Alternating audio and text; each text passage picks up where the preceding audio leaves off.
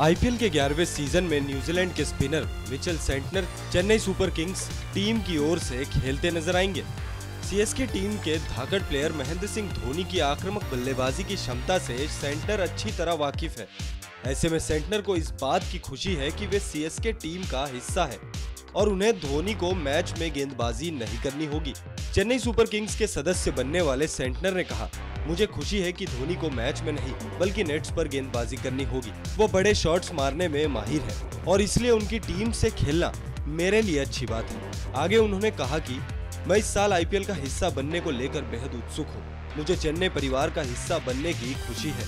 IPL संभवतः विश्व की सबसे बड़ी टी ट्वेंटी लीग है, इसलिए यहाँ अपनी प्रतिभा दिखाने के लिए उत्साहित हूँ। ये बड़ा मंच है, और मैं सीएसके को जीत में मदद करना चाहता हूँ। आपको बता दें सेंटनर को चेन्नई की टीम ने 50 लाख रुपए की प्राइज में खरीदा। और उम्मीद जताई जा रही है कि वे टीम में मुख्य स्पिनर के किरदार में दिख सकते हैं।